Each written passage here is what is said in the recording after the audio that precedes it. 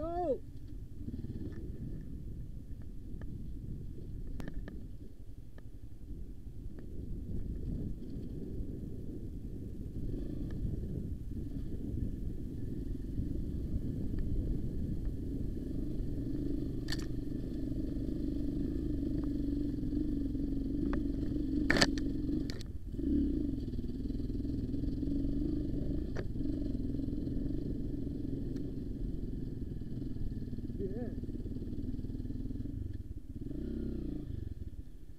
Yes.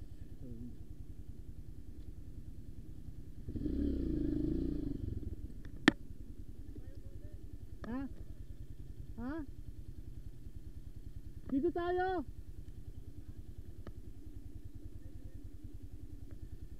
Hintayin natin siya.